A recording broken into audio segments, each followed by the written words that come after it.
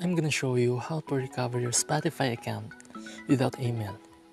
Okay, let's begin. The first step is we need to open any browser. And then here, go to support.spotify.com. Support.spotify.com. Once you are here, scroll down and go to Account and Payment.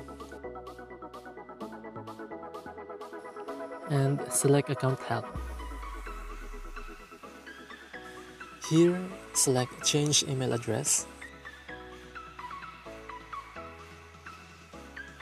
Scroll down and go to I no longer have access to the email address on my account.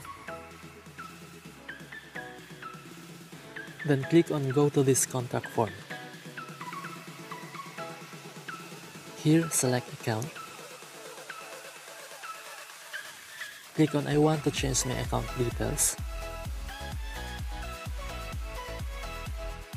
And finally, scroll down and click on I still need more help.